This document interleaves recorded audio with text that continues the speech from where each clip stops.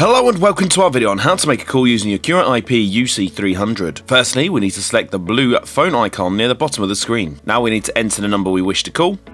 We can either select audio call or video call depending on our preference. And that's it, you're all done.